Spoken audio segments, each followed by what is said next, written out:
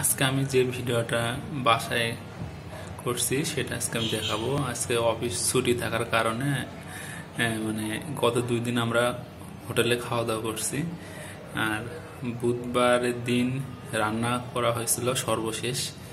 তা আজকে আমি আমার এই খাবারের ফ্যান্সি কড়াইটা খুলবো। কারণ আমি কিছুদিন আগে এখানে রান্না করে রেখে দিচ্ছিলাম কিন্তু এটা পরিষ্কার করে রেখে দেয়নি এর ভেতরে কি আছে সেটা আমি দেখাবো। এটা আমি অবাক হয়ে গেছি এটা দেখে আমি। খাবারের ভেতরে মানে পচা মানে বাসি খাবার মূলত, এটা এখন মানে ব্যাকটেরিয়ার জন্য গেছে ব্যাকটেরিয়া একদম এত ভয়ঙ্কর অবস্থা। মানে খাবারটা তিন, দুই দিন, প্রায় দুই দিন ধরে আছে, ঢাকনা বন্ধ করা ছিল। যার কারণে খাবারের ভেতরে ব্যাকটেরিয়া জন্ম মানে জন্মাইছে অনেক। প্রচুর ব্যাকটেরিয়া সাদা সাদা।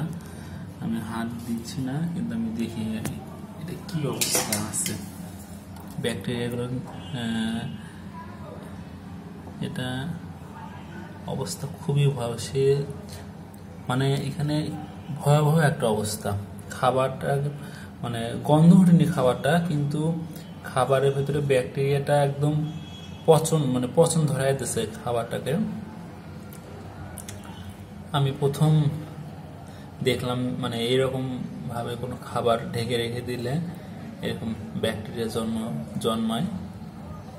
যাই হোক, ভিডিওটা আমি শেয়ার করলাম। আপনারা কেউ এটা কখনো করে রাখবেন না।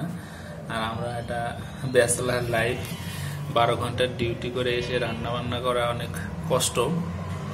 যার কারণে গত দুই দিন রান্না বান্না করিনি।